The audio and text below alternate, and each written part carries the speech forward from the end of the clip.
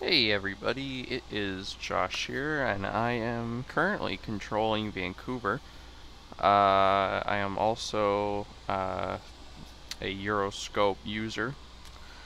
So today I will be explaining uh, basic ground and delivery operations.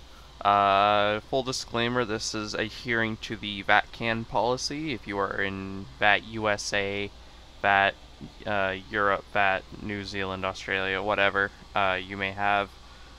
Uh, it might be a little bit different, uh, but uh, the general principles are the same. So right now, uh, I'm connected to Vancouver ground, so I'm controlling and I'm actually online right now. I have one aircraft on the ground, is an Air Canada 777 on its just uh, on its way to Honolulu. Uh, if you see here, uh, this is my departure list. It's also known as the flight strip. Uh, so this is where I update my basic information. So this is starting with delivery. So with delivery, your task is to give the aircraft in question IFR clearance to proceed to their destination. Now, whenever you get uh, IFR clearance or uh, aircraft calls up for IR, I, IFR clearance. This should be done actually before the aircraft calls up, uh, almost exactly when he files. Uh, you need to make sure altitudes are correct. Uh, is the one is a big thing. So he is flying west, and there's a little rhyme we do: is east is least and west is best. So if you're flying west, you should be at even number altitudes. If you're flying east, you should be at odd number altitudes. Uh, so he's at 36,000, so that is an even number altitude, so that's okay. If he was at like 35 or 37,000, then we have to correct it. Uh, he has filed IFR, which is good. Uh, his aircraft code looks okay. His alternate looks okay. Uh, we don't really worry about departure, time on route, whatever. Um, he is IFR. Uh, if he were VFR, the standard rules for VFR is the same thing east is least, west is best. But if you're a VFR aircraft, then you have to add 500 feet. And that can only go up to 18,000. That's where the flight levels start. Above 18,000 is IFR only. So if, say he was going, I don't know, say we were going from Vancouver to Victoria. Uh, technically, uh, west is best, so we'd file I'd file 4,500. 4,000's even plus the 500. So that's how flight levels work and alt cruising altitudes. Uh, another thing we need to do is assign him a squawk. I've already assigned him a squawk, so I won't click on the button. So you'll click the button, set squawk, and then uh, everything looks okay. So we're good there. Um, now in Vancouver, the standard uh, instrument departure is the Vancouver 1, which is climb maintain 7000 fly runway heading. It's really not that hard, and pilots should have it on board. So what we do is uh, once we uh, validate the flight plan, and to get the flight plan, you need to right-click on the aircraft type, by the way, pretty simple. Once you validate the flight plan, you need to select him, give him a SID.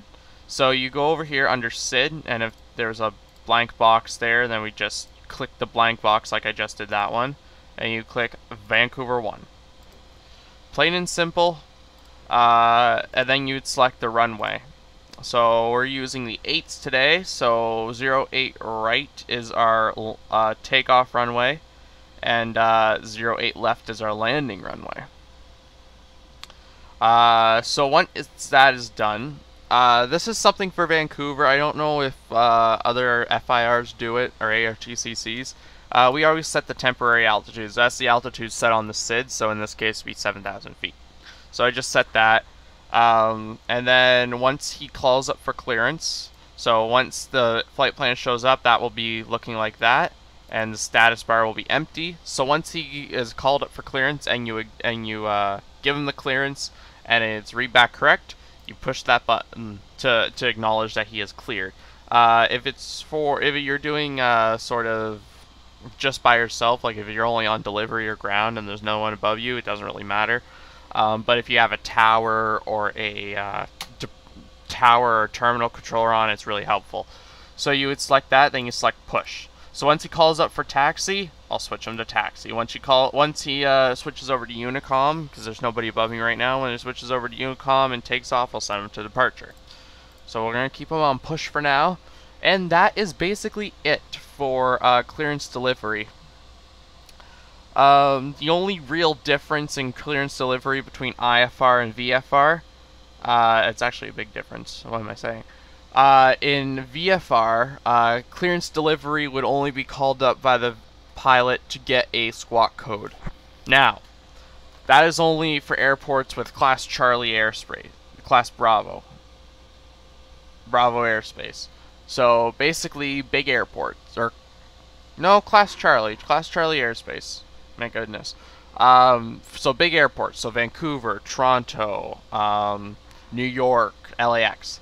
Airports with that kind with uh, that kind of traffic and Class Charlie airspace, they need to have a squawk code. Uh, if it were going out of a small airport like I don't know St. John or um, like Casper, Wyoming, um, like uh, Castlegar, BC, like these smaller airports, he could just squawk standard VFR, which is 1200, and that would be fine. Um, but when he calls up for clearance, all you need to do is give him the squawk code if you're on clearance delivery. If you're on ground, and it's if say there's no clearance delivery and you're just doing ground, you would give him the squawk code, the winds, the altimeter, and the taxi instructions. So say I had a VFR aircraft right here on uh, off of Delta Romeo, and he calls me up for taxi. I would say uh, Alpha Bravo Charlie, uh, squawk 5100, winds are 130 at 7, altimeter 3000, taxi runway 08 right via Delta Hotel Lima, Lima 4, hold short 08 right, cross 13. Something simple like that, so you need to give him his squawk, the winds, the altimeter, and his taxi instructions all in one go. Uh, but that's only if you're on ground and there's no clearance delivery online. If you're if clearance delivery is online, he'll already have a squawk code, so all you need to say are the winds, the altimeter, and his taxi instructions. Which brings me into ground. Now ground uh, has control of all the taxiways. Uh, be aware that ground does not have control of runways unless the tower controller gives access to the runways.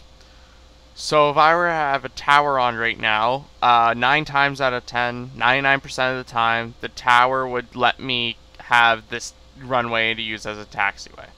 And it looks like the Air Canada might be pushing. Yes, no, maybe so, maybe not.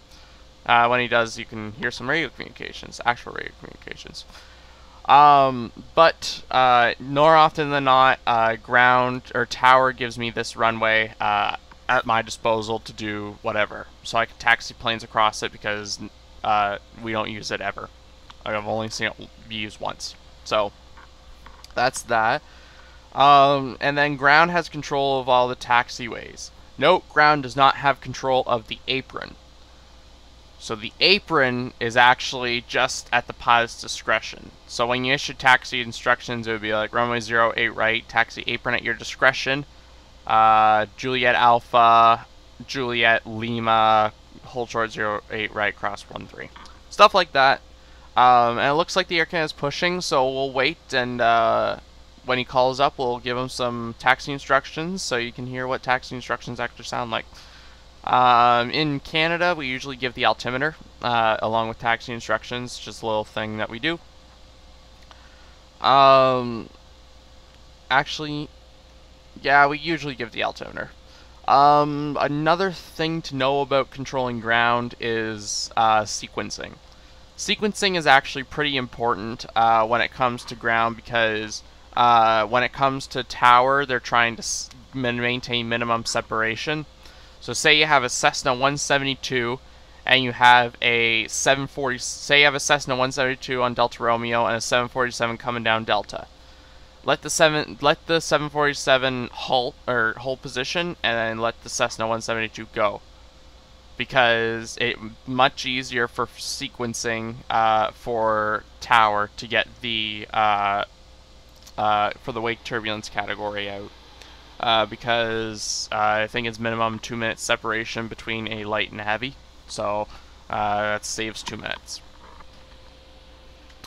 Um, other than that, ground uh, is basically issuing taxi instructions and uh, making sure planes don't run into each other on the ground and sequencing. Those are really the only three things uh, about ground that are that need to be known. Um, uh, so it's really not too difficult. It's a great gateway. Get your feet wet in controlling. Um, and then tower is the next step up. So, but tower is a little more interesting, so to speak. So I hope you enjoyed this little tutorial, and uh, hopefully uh, this helped you out with uh, explaining some ground and tower, or sorry, ground and delivery concepts. And uh, hope to see controlling in the future. Thank you very much for tuning in.